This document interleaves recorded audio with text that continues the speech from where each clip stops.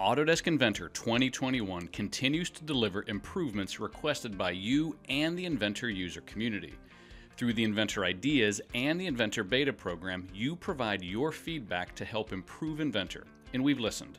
Here are some customer driven improvements for the assembly environment in Inventor 2021. We've extended the file naming defaults dialog to the mirror and copy commands. With your feedback, we've continued to make improvements to file naming for frame generator and tube and pipe designs. For tube and pipe, we've implemented the routing command as a new property panel, allowing you to create and apply your routes while keeping the command running, speeding up the development of your tube and pipe routes. To help you structure your assembly environment, we've rolled out the functionality last seen in the shaft component generator to bolted connections. In this example, notice the new option to disable the subassembly structure.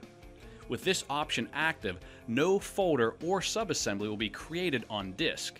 The individual components will be inserted directly into your assembly. This gives you more options for structuring your assembly and organizing your data to best suit your needs.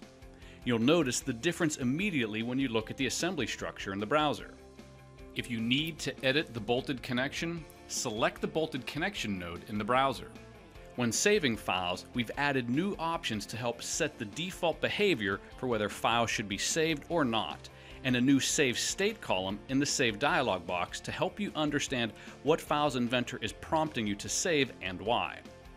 Thank you for your continued feedback and encouragement as we work to make Inventor better for you. Check out these customer driven improvements and more in Inventor 2021.